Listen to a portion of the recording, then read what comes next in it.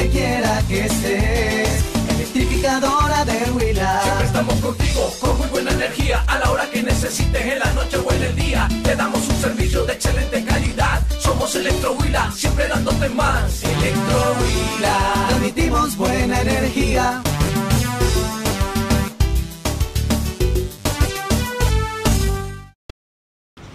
Hola, bienvenidos y bienvenidas a una emisión más del Magazine Institucional Corriente Alterna, el programa que la electrificadora del Huila ha preparado para todos ustedes, en donde les brindará información de su interés. Hoy nos encontramos desde el maravilloso mundo de las artesanías ubicado aquí en el malecón de la ciudad de Neiva. Electro Huila. Transmitimos buena energía. En la siguiente nota conoceremos cómo la electrificadora del Huila ha venido normalizando el servicio de electricidad en varios sitios subnormales, no solamente de Neiva, sino de todo el departamento del Huila a través de los proyectos PRONE. El programa de normalización de redes eléctricas PRONE, creado por la Ley 1117 del 2006 y reglamentado por el Decreto 111 del año 2011, que dice que barrio subnormal es aquel asentamiento humano ubicado en las cabeceras de municipios y distritos que reúnen requisitos como no tener el servicio público domiciliario de energía eléctrica o que éste se obtenga a través de derivaciones fraudulentas y la certificación del alcalde municipal o distrital o de la autoridad competente en la cual conste la clasificación y existencia de los barrios subnormales. Son unos proyectos eh, dirigidos principalmente a los barrios subnormales. Los barrios subnormales son eh, eh, los barrios que están conectados a la red por redes que no son que no están normatizadas, que no, no cumplen el reglamento técnico de instalaciones de energía. Eh, esos, esos usuarios tienen la posibilidad de acceder a unos recursos que da el Ministerio de Minas y Energía a través de un fondo que se llama el Fondo PRONE. Ese fondo eh, es, es, es, sufragado por todos los usuarios del servicio de energía eléctrica en el país. Todos estamos pagando el orden de 2.7 pesos por cada kilovatio que consumimos. Se, se lo, lo, lo están acumulando en el ministerio y entonces sacan unas convocatorias para que podamos participar y construirle las redes a esos usuarios que son subnormales que participen en las convocatorias. Aipe, Pitalito, Neiva, Acevedo, Salado Blanco, Timaná y San Agustín son las poblaciones en el departamento del Huila que ya se han beneficiado con los proyectos PRONE, un proyecto liderado por el Ministerio de Minas y Energía e impulsado por la electrificadora del Huila. Hemos eh, re conseguido recursos del orden de 7.200 millones de pesos la electrificadora desde el año 2012-2013 ha conseguido recursos por 7.200 millones de pesos y casi un centenar de, barrios han sido beneficiados por estos recursos. La electrificadora ha aportado lo que son los diseños y las interventorías de estos proyectos. La comunidad debe tener en cuenta que Electrohuila no puede adelantar ningún procedimiento de normalización de redes eléctricas sin el previo visto bueno del gobierno local, además de las certificaciones que estas administraciones municipales le brindan a aquellos asentamientos que se quieren legalizar. Para nadie es un secreto que la ciudad de Neiva se está expandiendo urbanísticamente. Es por eso que las firmas constructoras y encargados del manejo de los grandes vehículos, como son las grúas, empleadas principalmente en las construcciones de centros comerciales y complejos urbanísticos en la ciudad de Neiva, vienen afectando el servicio de energía, ya que estas tienden a enredarse con las cuerdas de media tensión. En la siguiente nota, el ingeniero Vladimir Solís, jefe de la zona norte de la electrificadora del Huila, les enseñará algunas recomendaciones para tener en cuenta y que no se presente alguna eventualidad que pueda dañar el servicio de la energía eléctrica en la ciudad de Neiva. La capital huilense se viene expandiendo de manera rápida con el pasar de los años. Urbanizaciones y nuevos complejos comerciales se construyen a lo largo y ancho de la ciudad. Es por eso que resulta común ver grandes vehículos y grúas dentro y fuera de estas grandes construcciones, convirtiéndose en un riesgo inminente, sobre todo para las líneas de media tensión. Es por eso que Electrohuila se mantiene atenta las 24 horas del día ante cualquier evento que se llegue a presentar.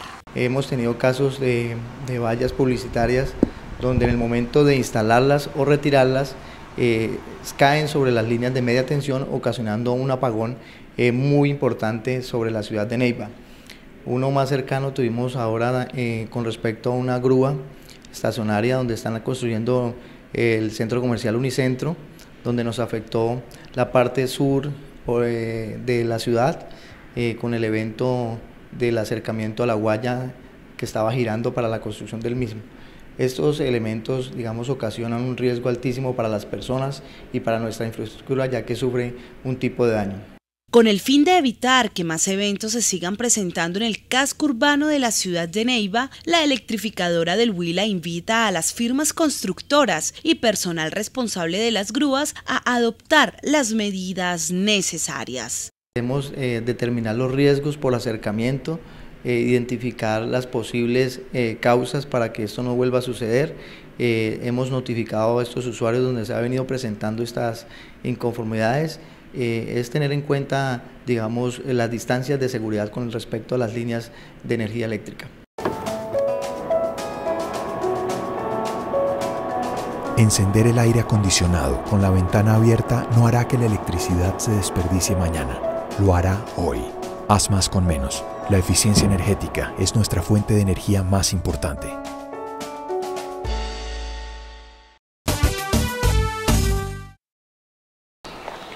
Desde pelado se veía que este chino era un berraquito. Imagínese que cuando la mula se le cansaba, él cargaba los costales y la mula y arrancaba riado. Una vez cayó una ballena en la playa y ajá, el solito la devolvió al mar. Le tenía un miedo que cuando escuchaba el nombre de él, salía corriendo el ratón. Lástima que un día, arreglando una conexión, tocó un cable de energía y hasta ahí llegó. Una desgracia. De tocar un cable de luz nadie se salva. Ten en cuenta todas las precauciones y mantente alejado. Una campaña de la Asociación Colombiana de Distribuidores de Energía Eléctrica, ASOCODIS. Bienvenido a Contact Center de Electrohuila. Le habla Diana Paola. ¿En qué le puedo servir? Ahora Electrohuila cuenta con una línea a la cual usted puede comunicarse para cualquier tipo de inquietud. Marque el 115 o desde cualquier celular al 038-860-4100. Estamos atentos ante cualquier solicitud, queja o reporte sobre nuestros servicios. Recuerde, 115 desde un fijo o 038-860-4100 desde cualquier celular. Cancelar tu factura de energía es más fácil, sin filas y sin salir de casa. Solo sigue estos pasos. Ingresa a la página web www.electrohuila.co.co. Dar clic en el link Pague aquí su factura. Posteriormente ingresa el número de la cuenta NUD que aparece en la parte superior de la factura. Llena los campos con la información solicitada y das clic en el link Hacer pago. Por último, selecciona la entidad bancaria con la que deseas realizar tu pago y listo. Ese muchacho sí que era un macho. No arriaba el ganado al corral, sino que lo llevaba cargado. Un día estábamos jugando escondido y lo encontramos al mes y medio con policía y todo. Y y tomó un cocodrilo con la mirada. Un día estaba trabajando en construcción, tocó un cable de luz y hasta allí llegó. Una gran pérdida. De tocar un cable de luz nadie se salva. Ten en cuenta todas las precauciones y mantente alejado. Una campaña de la Asociación Colombiana de Distribuidores de Energía Eléctrica, ASOCODIS. Ahora pagar tu factura de energía es muy fácil. Si tienes tarjeta débito, acércate a los puntos de pago del departamento a través de Redebank Multicolor, ATH e Internet. Para pagar desde los municipios, acércate a las oficinas de su chance, cooperativas Ultrahuilca, Confíe y Red Bancaria Autorizada Únicos puntos autorizados por Electrohuila. Y en la capital Upita puedes realizar las transacciones a través de los bancos autorizados. Cooperativa Confíe. Ultrahuilca. En los puntos de baloto electrónico y con la comodidad del Zaire ubicado en la carrera 18 con calle novena esquina. Cancela tu factura de energía a tiempo y continúa recibiendo buena energía. Un mensaje de Electrohuila y Corriente Alterna. El próximo 6 de diciembre, la electrificadora del Huila está organizando su tercer ciclopaseo 2015. Es muy fácil inscribirse, lo pueden hacer a través de nuestra página web www.electrohuila.com.co. No olviden que además del ciclopaseo y de integrarnos familiarmente con amigos y aficionados a este deporte, también podemos disfrutar de un desayuno que la electrificadora del Huila brindará en el municipio de Rivera.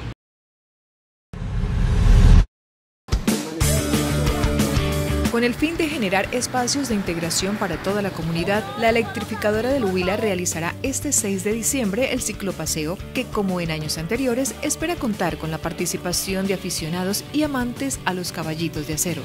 El recorrido se extenderá aproximadamente por 60 kilómetros e iniciará hacia las 6 de la mañana en el edificio El Zaire de la electrificadora del Huila, enrutándose hasta el municipio de Rivera, donde los participantes tendrán un desayuno típico, hidratación y contarán con la posibilidad de ganar premios que se sortearán en el parque del municipio verde del Huila. Este gran encuentro deportivo, como lo es el ciclopaseo, contará con el acompañamiento de la Policía Nacional, además del apoyo logístico y todos los servicios de asistencia para garantizar la seguridad y comodidad de los participantes.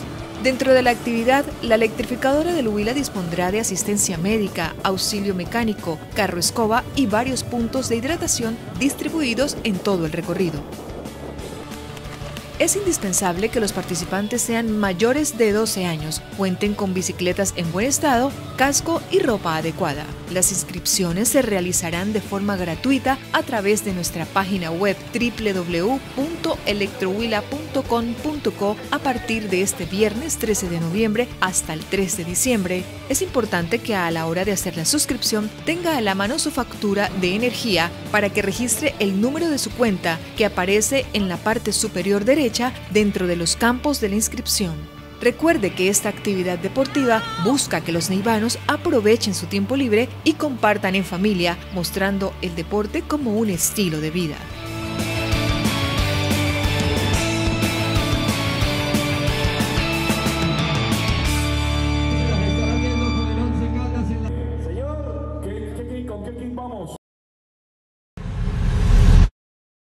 Ahorrar energía es muy fácil y si usted no sabe cómo hacerlo, en la siguiente nota la electrificadora del Huila le mostrará cómo hacer un uso racional de un electrodoméstico tan fundamental en nuestros hogares como lo es la lavadora.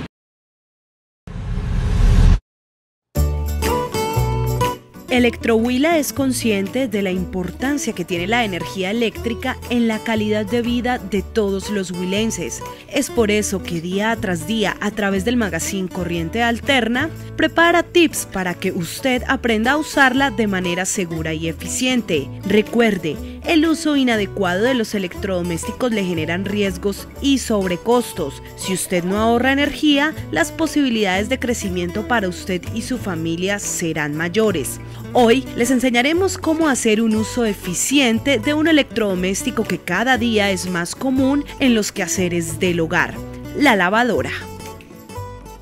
Recuerde, antes de usar la lavadora, reúna toda la ropa sucia y selecciónela antes de usar este electrodoméstico. Es importante que no utilice la lavadora para lavar pocas prendas, pues esto le ayudará no solamente a ahorrar electricidad, sino también a hacer un uso eficiente del agua. Cuando usted introduzca todas las prendas a lavar, observe que la capacidad total de la lavadora esté en su punto máximo. No olvide no sobrecargar la lavadora, pues esto hará que el electrodoméstico tenga un mayor esfuerzo.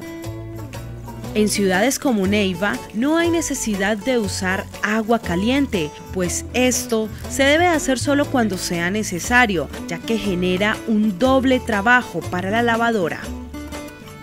Durante el fenómeno del niño es importante que usted no conecte la lavadora en las horas de la noche, es decir, en las horas pico, cuando todo el mundo utiliza sus electrodomésticos y existe mayor demanda de electricidad. Preferiblemente, elimine o restrinja el empleo de secadoras de ropa, use la luz solar y la ventilación natural. Finalmente, Electrohuila le recomienda utilizar la cantidad correcta de jabón para no tener que realizar más de un enjuague.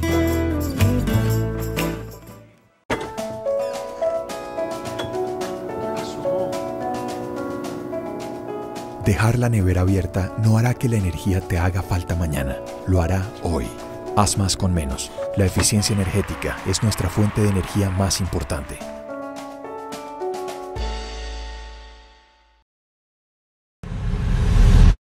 Y en nuestra sección Gente que transmite su mejor energía les contaremos la historia de una presentadora que alterna su trabajo periodístico con la ayuda a la gente habitante de la calle. Ella les da de comer de manera desinteresada junto a otro grupo de profesionales de diferentes sectores de la ciudad de Neiva.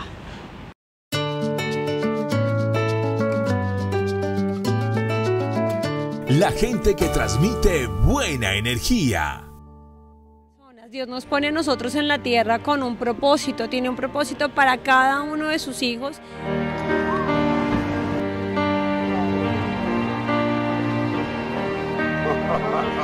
Angélica Ramírez, reconocida presentadora neivana, tomó la iniciativa de ayudar a quienes más lo necesitan a raíz de una amarga experiencia que la mantuvo tres años privada de la libertad y que le enseñó que cada persona tiene un mundo positivo.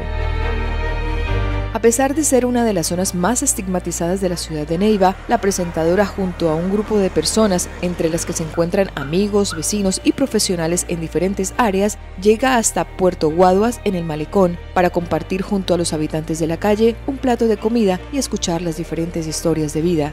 Cada uno de nosotros somos ángeles de Dios, no solamente los ángeles que nos imaginábamos que los papás nos, educan creyendo que sí, que hay ángeles de la guarda, que está el ángel eh, Gabriel, que el ángel eh, Miguel. Esos ángeles y arcángeles existen, pero nosotros también somos ángeles y somos ángeles de Dios.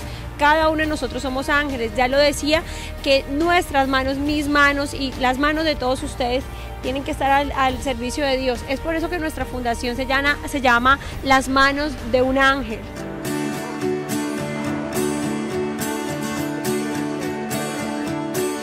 Angélica asegura que la Fundación Las Manos de un Ángel ha crecido y ha unido a muchas personas gracias a las redes sociales, pues son múltiples las imágenes que retratan la noble causa e incitan a participar de ella. Tenemos un, grupo en WhatsApp, más o menos de 20, 30 personas, eh, lo dirijo yo, eh, di tú que el martes yo les digo, eh, todos los días nos estamos enviando pues mensajes eh, de aliento, mensajes bíblicos, todo el tiempo estamos pendientes pues de también alimentando, alimentar nuestro corazón, nuestro espíritu y, y tú que por ahí el miércoles yo les escribo, bueno niñas eh, y niños, este sábado el menú va a ser por decir algo, frijoles, carnita frita o vamos a hacer un arroz con todas las carnes.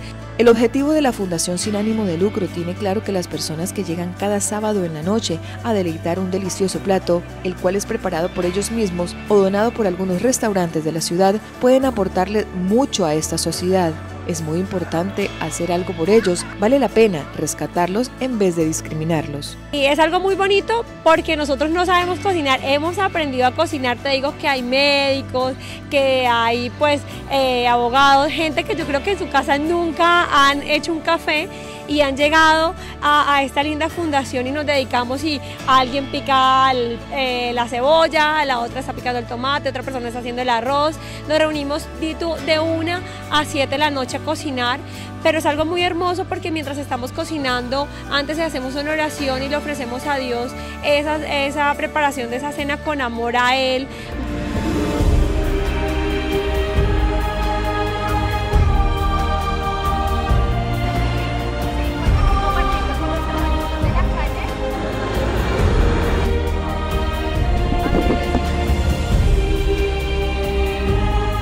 Es así como la Fundación Las Manos de un Ángel y la electrificadora del Huila extienden la invitación a quienes nos están viendo en este momento y deseen contribuir con estas ayudas. Lo grande y lo importante de un ser humano está dentro. Tu ropa puede estar desbaratada y tú hueles, puedes oler feo porque no te has bañado, pero tu alma está limpia. ¿Cuántas personas tú las ves vestidas finamente, oliendo delicioso y tú no sabes cómo tienen su alma y su conciencia?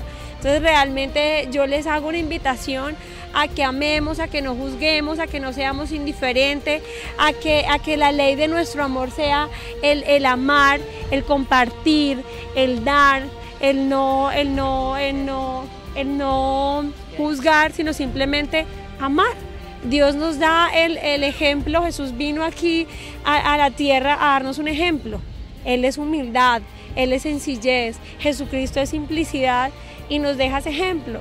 Por lo tanto es lo que hacemos y es la bendición más grande poder compartir con nuestros angelitos, el poder decirle a todos ustedes que el propósito de Dios es que tus manos y mis manos sean las manos de Dios.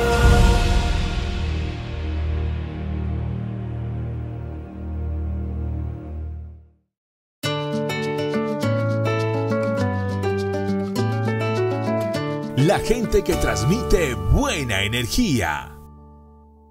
Santa Rosita, ubicado en el malecón de la ciudad de Neiva, aquí ustedes podrán encontrar, como pueden ver a mis espaldas, hermosas flores y plantas ornamentales. Le damos paso a la sección de salud.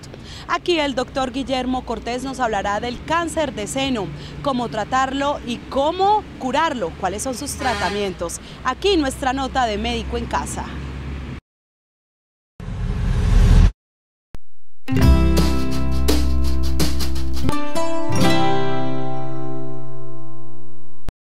detection? Según la Sociedad Española de Oncología Médica SEOM, el cáncer de mama aparece cuando las células del epitelio glandular se producen de forma incontrolada y muy rápidamente. Estas células cancerosas pueden viajar a través de la sangre y los vasos linfáticos y llegar a otras partes del cuerpo donde pueden adherirse a los órganos y formar metástasis. El cáncer de mama puede aparecer tanto en hombres como en mujeres, sin embargo, más del 99% de los diagnósticos ocurre en las mujeres. En Colombia, es la primera causa de muertes en mujeres y es el segundo cáncer en mujeres, después del cáncer de cuello uterino.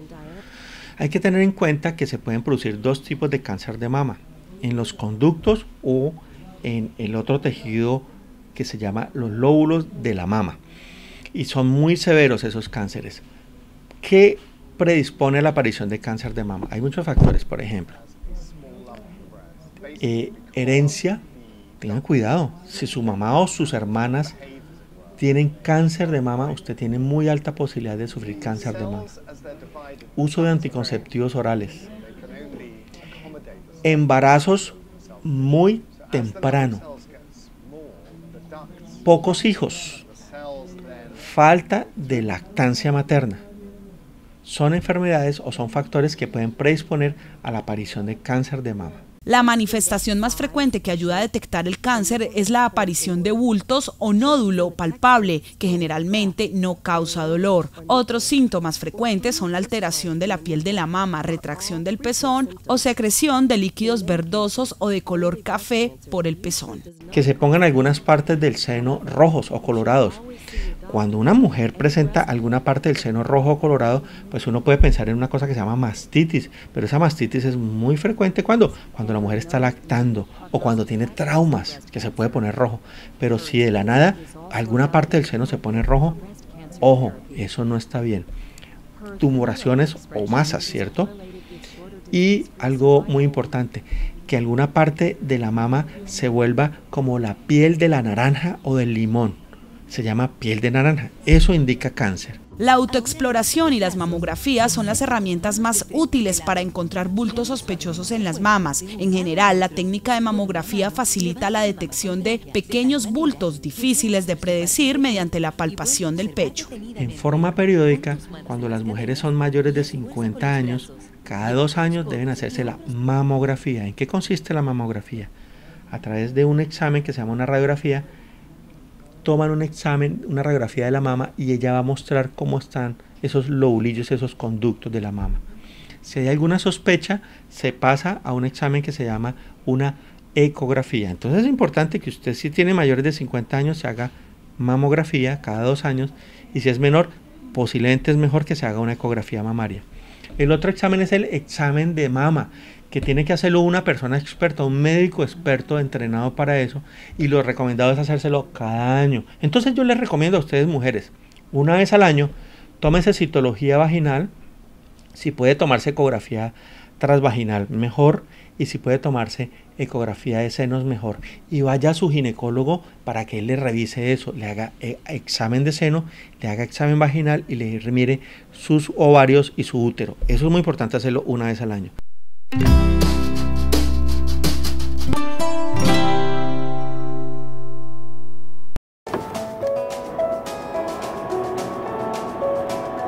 Encender el aire acondicionado con la ventana abierta no hará que la electricidad se desperdicie mañana, lo hará hoy. Haz más con menos. La eficiencia energética es nuestra fuente de energía más importante. En medio de la naturaleza imponente que nos ofrece la ribera del río Magdalena sobre el malecón de la ciudad de Neiva, les agradecemos por permanecer allí con nosotros en el magazine institucional Corriente Alterna durante estos minutos de información que la electrificadora del Huila había preparado para todos ustedes. No olviden que nos pueden contactar a través de nuestra página web www.electrohuila.com.co. Desde allí también pueden hacer las inscripciones para participar en el tercer ciclopaseo que organiza la electrificadora del Huila y que se tiene previsto para este próximo domingo 6 de diciembre. Hasta una próxima oportunidad. Hacemos parte de tu vida llevando buena energía a tu casa, a tu trabajo donde quiera que estés. Electrificadora de Huila. Siempre estamos contigo con muy buena energía a la hora que necesites en la noche o en el día. Te damos un servicio de excelente calidad. Somos Electro Huila, siempre dándote más. Electro Huila. Transmitimos buena energía.